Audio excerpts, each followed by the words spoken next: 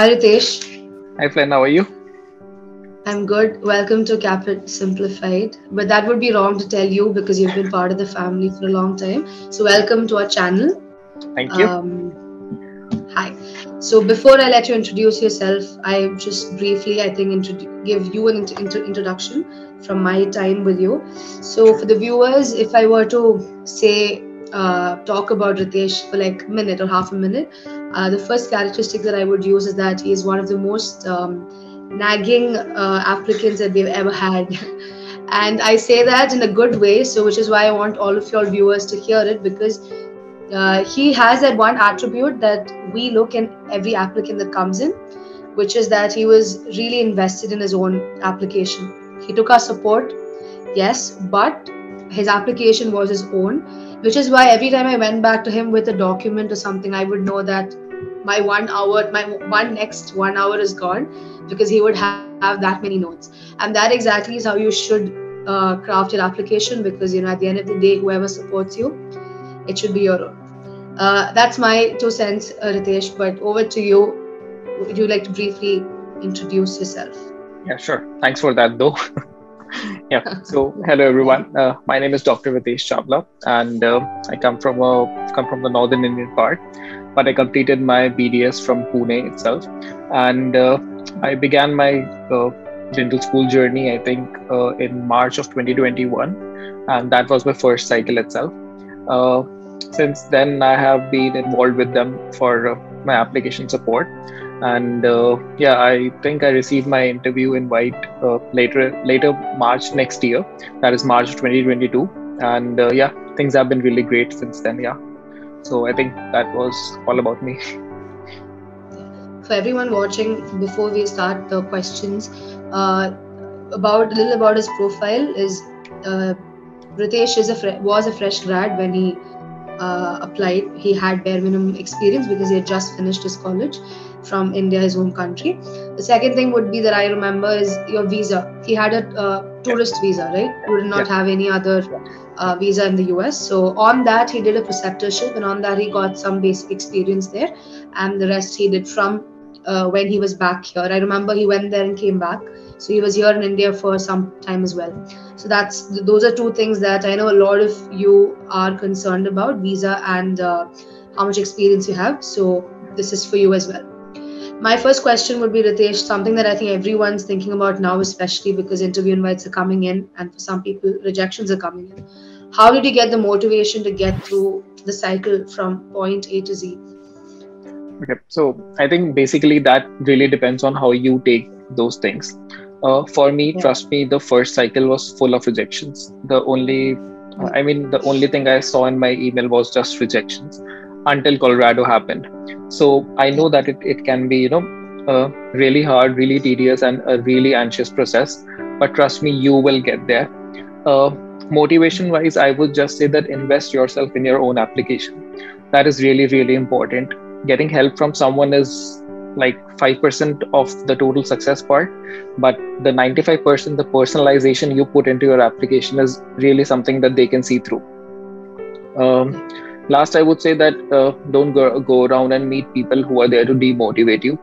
Uh, trust me i met a lot of seniors uh, who clear cut told me on my face that i don't really have a master's i don't have a green card i don't have experience that there's no point even trying. So don't don't let that get into your head. That is absolutely i would say rubbish because i was exactly that profile and i got in. So if i can get in you definitely can. And uh, trust me it will take its own time but you will get in. Definitely you will get in. All right. Yeah that makes sense. To each their own but i think what's important is to find what works for you and then stick yeah. by it exactly. uh, to keep motivated. All right. Uh, on that note of you know your profile in quotes so um i want i because i know your journey i think it'll be great if you can talk like speak out so that the viewers can hear and tell them how to sort of debunk the biggest myth about uh, applying to schools that a certain school needs a certain profile. If not, you would not get through. Is that true or is it a myth? I would say it's it is true for some schools. Like let's say Tufts, for example, has a really strict policy for green card applicants. uh, but it is always you know it, it is my belief that it is always uh, if it is feasible for you it is better to take a chance maximum they will just reject your application that is the maximum that can happen and uh, i applied to indiana and uh, indiana had a, a, visa status requirement they already wanted someone who has a visa status uh, but I got an interview from Indiana and I even got accepted at Indiana. So that, you know, that throws that particular segment out of the window. I'm not saying that you do not need to respect their requirements. Definitely respect their requirements, but give it a shot, I would say. Um, okay. Another instance would be Temple. Temple wanted, uh, I mean, they preferred a two year clinical experience for their applicants. Mm-hmm. But again, uh, when I applied to Temple this, I didn't apply to them last cycle uh, this cycle I applied and I had a bare minimum of seven months of experience and I was called for an interview. So yeah, it basically depends on you. You need to give it a shot to see if you are a fit for the school. So yeah, that that's definitely a myth that they want people with experience or they want green card status and things like that. That is definitely a myth. Yeah. Okay. Do you want to quickly tell them uh, from where all which all schools you got acceptance and which all schools you got invites from interview invites? Yeah. Okay, so last year the only school that invited me was CU, and that was the only acceptance I had last year. Uh, this year I had uh, invites from Indiana, uh, Loma Linda University, uh, University of California, San Francisco, uh, Temple University, and University of the Pacific. I was accepted at Indiana University, but I'm awaiting results for the others. I didn't appear for the bench test for Loma Linda University and the Temple University interviews. Okay, all right. Sounds good. Um, another thing that uh, is new right now for uh, CU especially is Casper. That's what you would have heard. Like the next this uh, applying batch has to take Casper.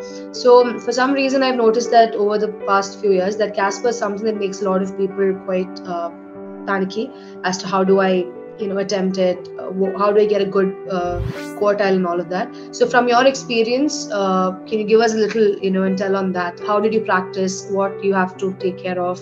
How to get a good score? Okay so i appeared for casper twice. Indiana wanted a casper from the last cycle but ucla wanted casper from this cycle. And uh, both of the times surprisingly for me were good. The only part that bugged me was the time that i had to be at uh, I had to appear for it at 2:30 a.m. in India. Uh, apart from that, yeah. Apart from that, they just basically want you to see how humanly you will react in uh, different scenarios. They want you to. Yeah. They basically want to see that you can think beyond uh, a certain, you know, stereotypical response like they give you a scenario they just want to know whether you will straight away dive into a really harsh response or you have the capacity to think about a situation think about where it what the consequences can be for you as well as the other people involved and then give your answer. Um, the new part for this cycle was the video responses.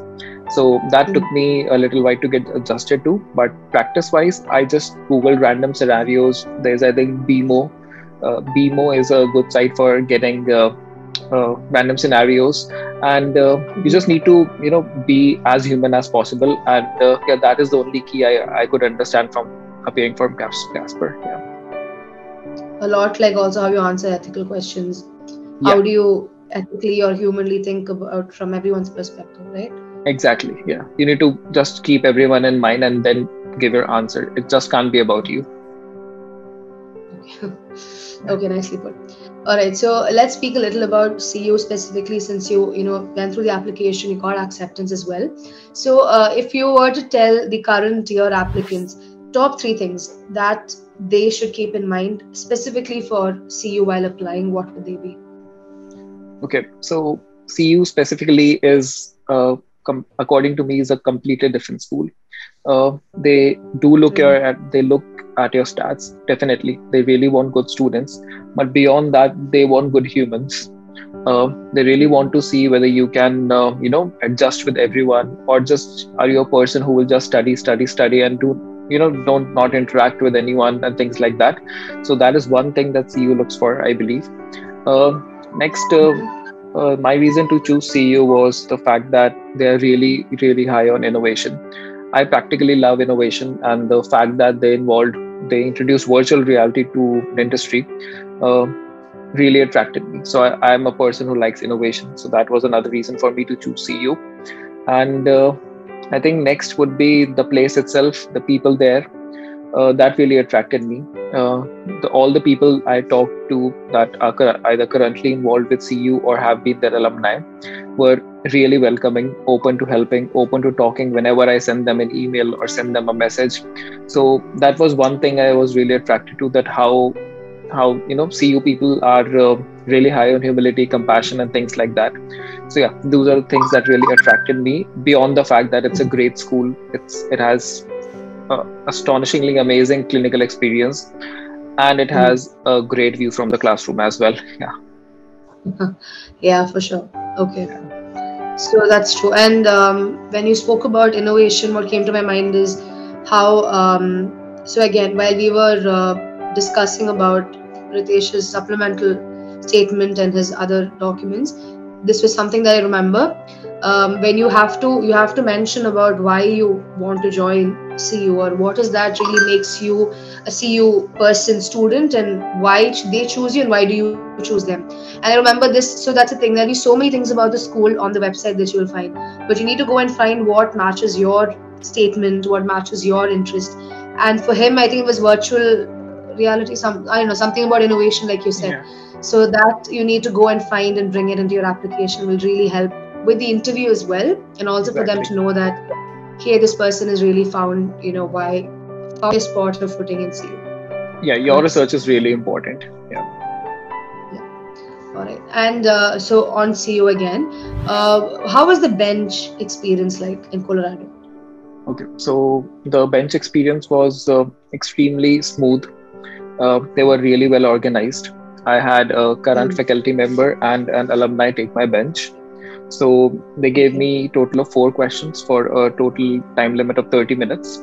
It was uh, one class two preparation, one crown preparation, one inlay preparation, and a clinical case. Uh, the best thing about them was the fact that they, they don't really throw you with you know specific questions. They want to know what like it is literally a platform where you can showcase all your knowledge about a class two preparation, all your knowledge about whatever they ask.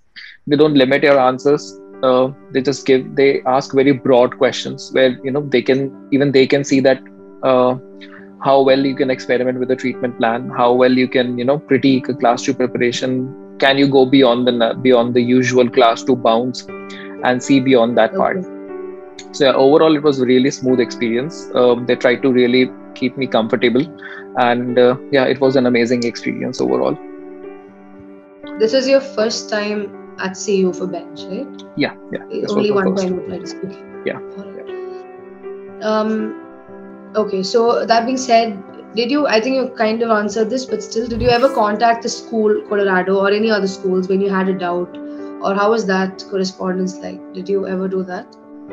Okay, so I was in the virtual, they, they conducted a virtual tour last year I think uh, it, it happened in October or something like that.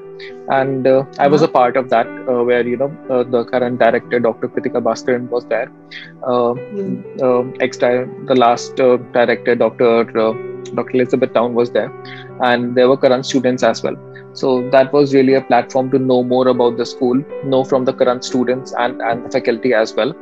Uh, so that was my first attempt to you know know about them uh, I did contact a lot of current CU students and alumni, and uh, yeah, I think yeah, I, I, really contacted a lot of them, and uh, that was another sign for me that CU literally looks for great humans. Sounds nice. And um, how did you shortlist your schools? Because I was thinking, I know you're one of those applicants who apply to quite a, like didn't really you know limit it like say five or six so what were your parameters when you chose you know to shortlist schools okay so the first thing was uh, uh, i didn't apply to a lot of schools that had a green card requirement like tufts uh, UPenn had a stricter environment. These are really elite schools, so I knew that the environment would be pretty strict. Uh, mm. I did take a chance with other schools.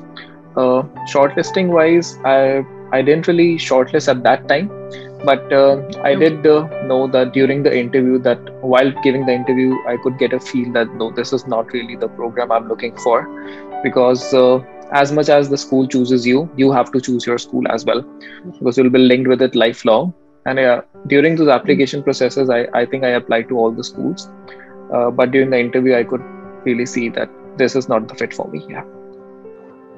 How did you i mean was it the way they spoke? Was it what they spoke um, uh, see, uh, i am a person who wouldn't really uh, you know be into a school that looks only for study study study and uh, nothing beyond that so mm-hmm. during the interview you can get a sense whether you know they are looking for they're looking around you as a person or they're just look, mm. looking for a clinician who would work there for two years and then get a degree and move away people mm. they are they can be people who choose this the second part where they just want you know to get to do procedures and just move out get a degree and move out.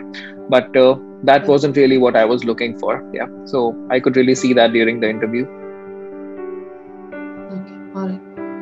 And um, how did uh, small so just a preface this would be to the ones listening. Uh, there was a time in between where uh, whenever we contact ritesh for you know in our communication we would speak in english and then he would speak he would text in spanish because he was learning the language. So uh, he was learning a new language basically. So how did that so spanish especially being relevant in the us right? So how did that help in your application and did it like small initiatives from your side like that? Did that help? Okay so my decision to learn spanish uh, arose when i was in boston i saw a lot of people from a lot of patients uh, from the hispanic background. So that was one motivation to learn spanish. Uh, over that i just wanted to you know engage, keep myself busy during the process. Uh, the more free time you have the more you will you know refresh your you refresh your emails and see whether you have an email or not. I just wanted to keep myself busy and that really helped me with that. I could meet new people talk to them learn about their experiences share mine and uh, yeah it, it was basically just to ease the process and uh, keep my mind on useful things rather than refreshing my emails and things like that uh, did you incorporate this in your application as well? You know, in your written application, I think you did. I don't remember though, saying that this is something that you're doing for you know to sort of mingle with the community there. I think uh, I didn't. I didn't really mention that in my application, but uh, I did mention that I'm learning Spanish somewhere. I remember, but uh, okay. explaining why I'm learning Spanish, I don't think I did that. Yeah.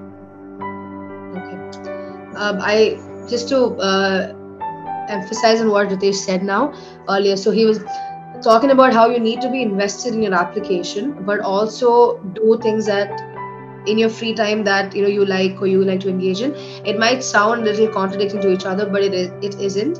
You need to find that balance where you you know do what you have to do with the application, but also take a break. And i can't stress on that enough because otherwise you will really just keep refreshing. And and i know ritesh is not someone who had it easy. He really he used to you know like get stressed out but he did what he had to do to get out of it. So you guys really have to fi- you know find out something that works for you and take a break because this is a long journey. Even if you get accepted uh, i remember ritesh telling me once he got accepted the visa processes, even and the loan processes are scarier than the application itself. So it's a long um, process anyhow. Even if you get in even if, if you don't get in it's longer. So give yourself that energy and don't burn out uh, by the time you reach that uncertainty will always be there. First you will be uncertain about mm-hmm. getting accepted then your visa then a loan then the dds itself. It's a rigorous program. So you know take your time and just prepare yourself for the ultimate aim that is dds because you will eventually get in yeah, until you finish and become get the degree and become more like a traditional student or traditional dentist in the us yeah. i feel that uncertainty and then i guess then there'll be bigger uncertainty of what next exactly. but of course that just keeps going. Yeah. Okay. So, speaking of another school that you got specifically accepted to, which is Indiana. Uh, so, did you submit an LOR, which I'm, I'm sure you would have, but submit an LOR for the volunteering service? Uh, I mean, a community service. What yeah. was that like? What did you have to do? What was required by the? Because, so, I think they really required an LOR from a US or Canadian uh, community service. And uh, mm-hmm I during the interview as well, they were I I mean I asked them about the community service, and uh, I got to know that the the geographical location of the school in and around the school is uh, really community focused. There have a lot of community programs, and uh, even the interview was focused on that part as well. Uh, beyond that, Indiana's interview was really really smooth. It was two current faculties, and uh, they were they were really uh, engaging in the interview and i could feel that they want to know more about me about what i like to do in my free time how does my day go about what procedures i have done why i'm choosing this program. And uh, yeah things like on those tangent they really wanted to know about me as a person. But yes community service is a good is a great proportion of their program yeah. Uh, so since you were in india for a lot of the time like for how many how many hours worth of community service did you have in the us um, I don't really think I had a lot of community service in the US because uh, I, I didn't really have a lot of options at that time. I just went to a food bank for a few hours a day, and yeah, that was all about it. But uh, there are a lot of opportunities for other people who are not on visa status. Because I was on visa status, I was limited by the opportunities. Uh, yeah so i don't think i really had a lot of experience but i did have virtual experience with us organizations while i was in india uh, I think it was the neuroscience establishment. So yeah, I did some uh, virtual US volunteering. Yeah. So, uh, but you got the letter from the food bank place, right? Yeah, that is correct. Yeah. Okay, so despite having lesser number of hours, that still counted as significant. I mean, obviously the rest of your application factors in, but yeah. for Indiana that counted as significant. Okay. Yeah. That I think is something that you guys, I mean, everyone can just take note of. You know, in case you have such limitations in the US, you can still once you get letters, still try. Yeah. Okay. Uh, so you told us a little. So I wanted to ask you if that the community service aspect reflects in the interview. So you already told us it did. Um, speaking of interviews, out of all the schools that you've interviewed till now, uh, I have two questions. Which one was the most peculiar, and which one was the most easy or easygoing, and why?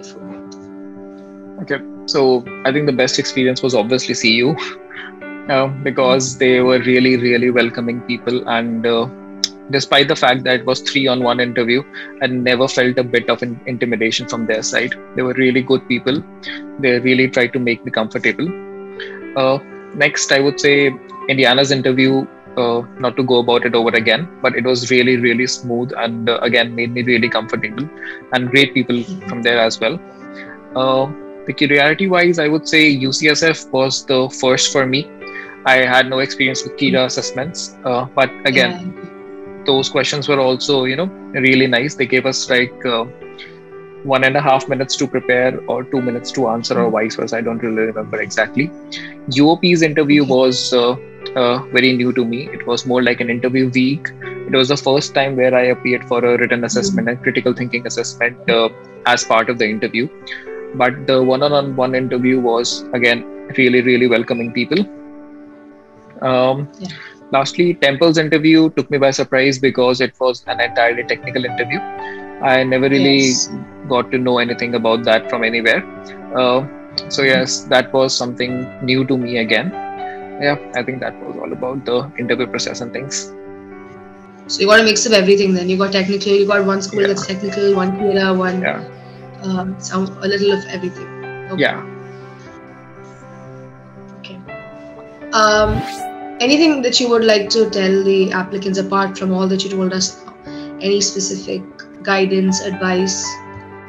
Because a lot of them are either waiting for their invites and mm-hmm. Or gotten rejections, and some of them are starting to prepare for CU. I remember you called us at this time, I think around like last year. October. And uh, you had CU in mind. So that is what, yeah. like, you know, I keep thinking about. He applied to other schools as well because you wouldn't know for a long time. But when he called, I remember that uh, his focus was in CU. And uh, obviously, you know, a lot of other factors and luck and all of that played in his favor, but also he worked for it. And congratulations again. It's amazing Thank to you. see that you got it. So, um, yeah, so keeping that in mind, do you have anything to say to people right now on the same path as you are? Yeah. Okay, so I think I, I really know that the whole process is really anxiety inducing and a really, really tedious process. Only you can understand because you are the only one going through it. Uh, I would say that uh, trust me that not everyone has the courage to choose this path. Uh, choosing to, you know, throw away everything you had in one country and deciding to take take over your career in an entirely different place. Not everyone has the courage to do that. And the fact that you had the courage to make this decision already makes you a winner. Trust me on that. not everyone can do that uh, next i would say that uh, since you are already in this journey you will get in there's nothing that can that can stop you from getting in just make sure that you put your 100% into your application uh, take a family support take anyone support you want but it has to it has to come from within you you. This might sound this might sound like very philosophical nonsense i was saying but yes it has to come from within you.